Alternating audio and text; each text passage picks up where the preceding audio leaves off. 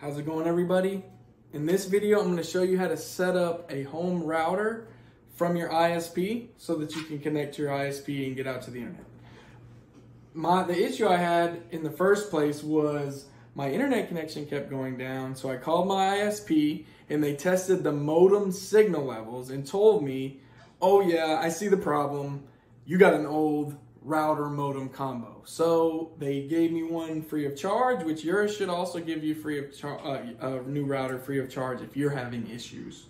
So what I'm getting ready to do is connect this and disconnect the old one. So let me show you what's happening. If you want to come on over here, y'all, and come check it out. So what I have here is, this is the modem and router combo that's actually connecting this whole network to the internet. It comes in through this thick white cable, it's a, which is a coaxial cable. I have cable internet. And then there's an ethernet cable that runs from one of the LAN ports on this to this uh, Ubiquiti Dream Machine Pro. The Ubiquiti Dream Machine Pro is a firewall and security appliance that I use to pretty much do most of the, the routing out to the modem. Uh, and then this, of course, is acting as a wireless access point so that the devices on the network that are on the Wi-Fi actually connect to this router first.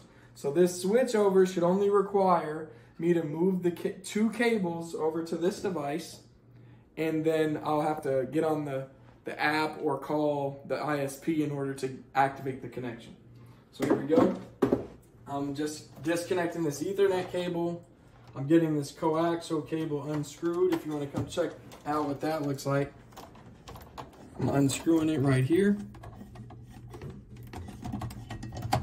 So you see that? And then I'm going to disconnect this. That'll be something we give back to them or throw out. And then I'm gonna connect this. So I'm gonna first screw this in. And you know, it's not nothing special to screw this in.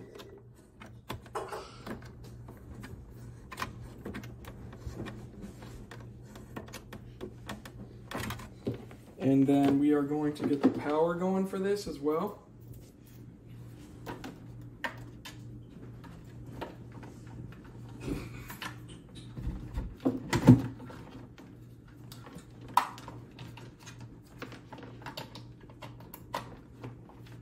And this is one part I'm gonna I want to make sure y'all know about, and that's this this Ethernet cable right here that I disconnected is going to run from this Dream Machine to the modem.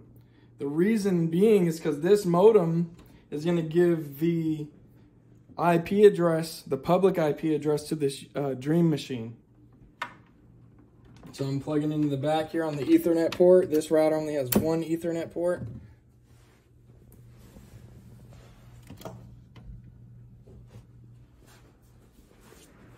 And we'll see if we get power. It's powering on now.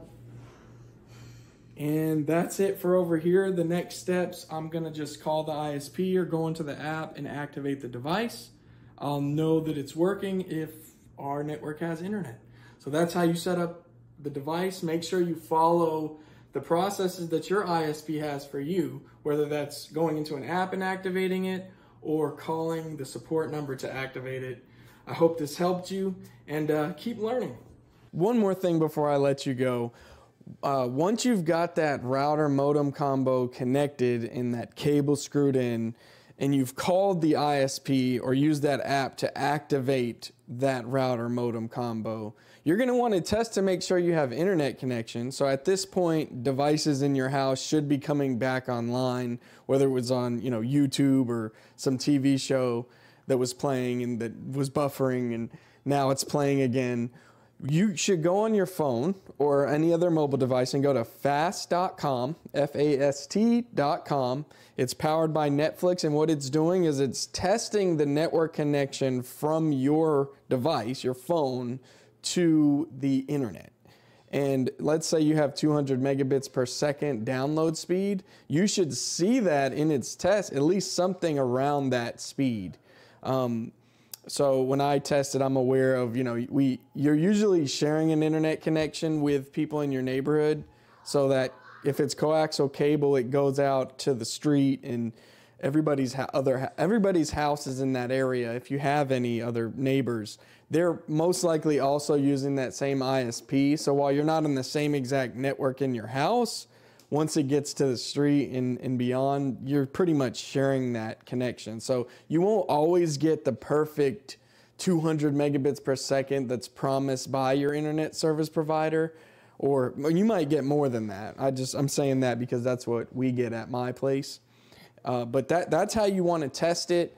Uh, you'll want to monitor this over the next few days. Remember, I told you that I got a new. I called my ISP because this issue was all of a sudden internet connection would go down in my house and it didn't seem like there was a good reason for that. Um, my Wi-Fi would stay up. How did I know? Because I could tell my computer was still connected to the Wi-Fi, my phone was still connected to the Wi-Fi, but uh, we just didn't have internet connection for a moment, and then it would come back up randomly. So, um, yeah. So if you're having this issue, I hope this helped you. Uh, I hope it helped you set up the new device. If you haven't thought about calling your ISP about this, I would recommend calling them and asking them, hey, can you test my modem signal levels? I want to make sure that uh, nothing's wrong there. And um, one, uh, another thing, I'm so sorry to hold you, but the I've had some people who I help. I go out to their house and I help them with technology issues, and I'll come across this very strange thing. And I think it's something ISPs need to do better of. And what, what it is is, I, I, so I went to a house, a, a, lady that I help. She's she's an awesome person, and I helped her with a bunch of things. And one day I noticed her internet connection was very slow, and uh, I I went to fast.com and I noticed she was getting like one megabit per second, which is absolutely unacceptable in 2024. And she, I asked her if I could see her bill. And she brought her bill upstairs because she, she keeps really good notes. And she showed me that she was paying like a $100 for this connection. And I, I was like, hold on a second. Let me look at this modem. So I go around the back and I look at the modem, and it's got a phone cable, RJ11, which is the little thin phone cable, connected and it says DSL connection. And I was like, hold on a second. This is DSL in 2024? And so I went online and I noticed for her provider was AT&T. I could see that AT&T has an option that's $60 for like 300 megabits per second download. So, you know, working with her to get a new internet connection out there, but some of the ISPs are overcharging for what you're getting, and they're just so big that sometimes they don't really proactively look to make sure all their customers are getting updated equipment or even updated services that are available in the area for the price. So to me, it is unacceptable for that organization to, to be charging her that much money for a DSL connection. There's something wrong there.